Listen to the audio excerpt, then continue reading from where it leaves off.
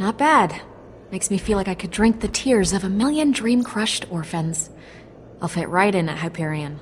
Hey! Hurry it up already! I don't got all day! Why, why would you do that? Whoa, whoa, sorry. I just, I don't know, kind of popped in the old head, and I, I, I thought it, I thought it'd be funny, but obviously I was very, very wrong. Uh, so sorry. I don't know what I was thinking. Sorry, I just gotta scan it for the thing. Yeah,